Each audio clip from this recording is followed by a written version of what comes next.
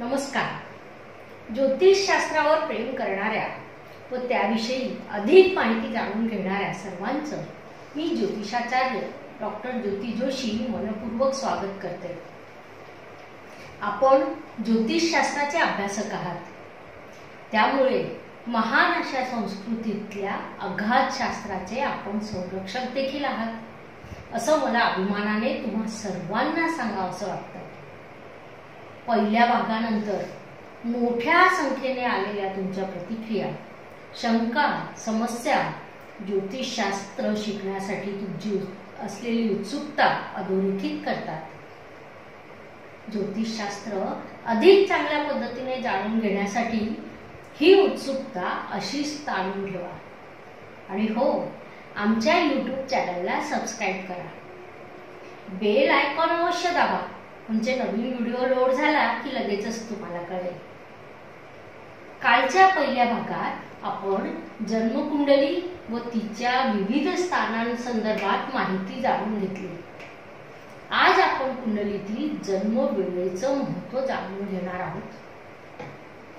जन्म वेळ आणि जन्मस्थान याशिवाय कुंडली काढता येत नाही. विशेषतः जन्मवेळेला खूप महत्त्व असतं. कारण जन्मवेळेनुसार कुंडलीमध्ये रवी म्हणजेच सूर्य कोणत्या स्थानात आहे याची माहिती मिळत असते व यावरूनच कुंडली मांडता येते. तसेच कुंडलीतील या स्थानावरून जन्मवेळ बरोबर आहे की नाही हे देखील सांगता येते. कधीतरी जातक त्यांची वेळ चुकतात. जन्मकुंडली पाहून आपण ती दोन मिनिटात ओळखू शकतो. आता आपण रवी कोणत्या वेळी कोणत्या स्थानात असतो याविषयी जाणून घेणार आहोत. जातकाचा जन्म जर सकाळी सहा वाजेपासून आठ वाजेच्या दरम्यान झाला असेल तर सूर्य जातकाच्या पत्रिकेत प्रथम भावात असतो. तेच जर त्याचा जन्म सकाळी आठपासून दहा वाजेच्या दरम्यान झाला असल्यास सूर्य जातकाच्या पत्रिकेत व्ययस्थानात आढळून येतो. सूर्य जातकाच्या पत्रिकेत लाभ स्थानात जातो जर त्याचा जन्म सकाळी दहा वाजेपासून बारा वाजेच्या दरम्यान झालेला असेल. जातकाचा जन्म जर दुपारी बारा ते दोनच्या दरम्यान झाला असेल तर सूर्य दशम स्थानात आढळून येतो. जातकाचा जन्म जर दुपारी दोन वाजेपासून चारच्या दरम्यान झाला असल्यास सूर्य नवम भावात म्हणजे भाग्यस्थानात असतो. जातकाचा जन्म जर दुपारी चार वाजेपासून सहा वाजेपर्यंतच्या काळात झाला तर जातकाच्या पत्रिकेत सूर्य अष्टम स्थानात असतो. जातकाच्या पत्रिकेत सूर्य सातव्या स्थानात असेल तर त्याचा जन्म सायंकाळी सहा वाजेपासून तर रात्री आठ वाजेच्या दरम्यान झालेला असेल. रात्री आठ वाजेपासून दहा वाजेच्या दरम्यान जर जातकाचा जन्म झाला तर सूर्य सहाव्या भावात किंवा षष्ठ स्थानात आढळून येतो. मात्र रात्री दहा ते बारा जर जातकाचा जन्म असेल तर सूर्य पंचम स्थानात संतती स्थानात असतो. जातकाचा जन्म जर रात्री बारा वाजेपासून दोन वाजेपर्यंत या काळात झाल्यास सूर्य चतुर्थ स्थानात असतो. पहाटे दोन वाजेपासून तर चार वाजे दरम्यानच्या काळात जर जातकाचा जन्म झाला तर सूर्य तृतीय स्थानात म्हणजेच पराक्रम स्थानात असतो.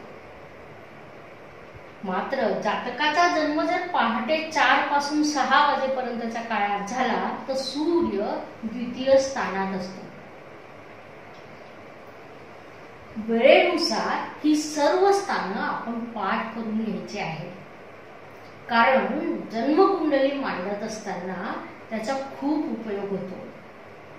ही सर्व स्थाने लक्षात घेऊन जन्म वेळ बरोबर आहे की नाही हे आपणास पाहता येते. आता कुंडलीतील विविध स्थानांविषयी आपण जाणून घेऊया. कुंडलीतील एक चार सात आणि दहा या चार स्थानांना केंद्रस्थाने म्हणतात. पाच आणि नऊ या स्थानांना कोण स्थान किंवा त्रिकोण स्थान असे देखील म्हटलं जातं. सहा आठ आणि बारा ही अत्यंत अशुभ स्थान मानली जातात. तसंच द्वितीय स्थान आणि सप्तम स्थान ही मारक स्थान होत.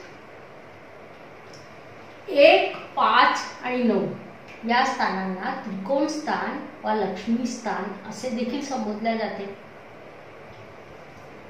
दुसरे स्थान म्हणजे कुटुंब स्थान व सातवे स्थान हे कुटुंब व पैसा दर्शवणारे स्थान आहेत.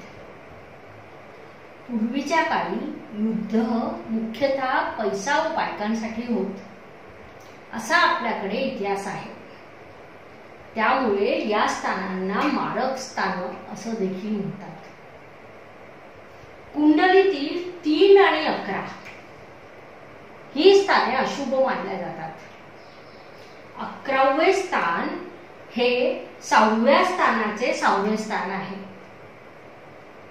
म्हणजे शत्रूचे शत्रुस्थान आहे. तसेच रोगाचे रोगस्थान म्हणून या स्थानाला अशुभ मानल्या जाते. अकरावे स्थान हे व्ययाचे व्ययस्थान. म्हणून देखील अशुभ मानले जाते. तिसरे स्थान हे अष्टमाचे अष्टम स्थान म्हणून अशुभ मानले जाते. या स्थानांसोबत कुंडलीमध्ये चंद्रबळाला विशेष महत्त्व असतं. शुक्ल प्रतिपदेपासून शुक्ल दशमीपर्यंत चंद्रबळ मध्यम असतं. शुक्ल दशमीपासून ते कृष्ण पंचमीपर्यंत चंद्र बलवान असतं. तसेच कृष्ण पंचमीपासून अमावश्यापर्यंत चंद्रबळ नसतं. आज आपण कुंडलीतील जन्मवेळेचं महत्त्व कुंडलीतील विविध स्थाने व चंद्रबळ याविषयी माहिती जाणून घेतली. आजसाठी एवढं पुरेसं आपल्या सर्वांचा उत्साह व उत्सुकता बघता आपल्याला ज्योतिषशास्त्राविषयी माहिती जाणून घेण्यात आनंद मिळतो आहे. ही एक अत्यंत आनंदाची बाब आहे. मात्र त्याचबरोबर हेही सत्य आहे की ही सर्व शास्त्रीय माहिती असल्यामुळे एकदा ऐकून तुम्हाला समजण्याची शक्यता कमी आहे. म्हणून पुन्हा पुन्हा बघा. अजून चांगल्या प्रकारे समजण्यासाठी ही सर्व माहिती श्री वैदिक आणि सायंटिफिक संशोधन केंद्र या फेसबुक पेजवरती लिखित स्वरूपात उपलब्ध आहे. तिचा लाभ घ्या. त्यावरून नोटबुकमध्ये नोंदी तयार करा. तुमच्या समस्या असतील शंका असतील त्या तुम्ही मला ऑनलाईनच विचारा. म्हणजे एकाच वेळी अनेक जणांना ती समस्या व तिचं निरसन समजू शकेल. पुढच्या व्हिडिओची वाट पहा. तोपर्यंत या व्हिडिओमध्ये सांगितलेल्या गोष्टींचा अभ्यास पूर्ण करण्याचा प्रयत्न करा. शुभम हो भवतु धन्यवाद.